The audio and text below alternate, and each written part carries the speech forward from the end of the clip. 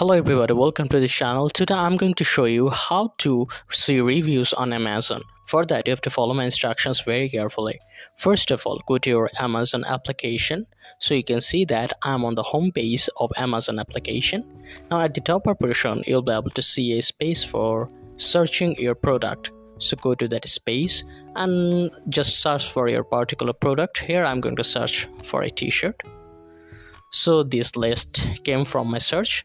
Now if i want to see the reviews of any particular product i have to go through the particular page of that particular product. So i'm going to go through this product.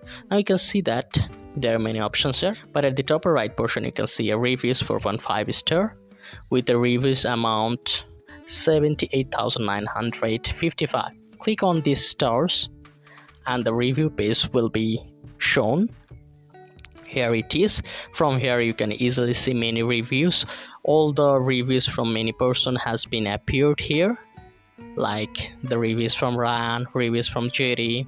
Like this, you can easily find reviews of any product from this way. So if this tutorial helped you, like this video and don't forget to subscribe to my channel. See you in the next one.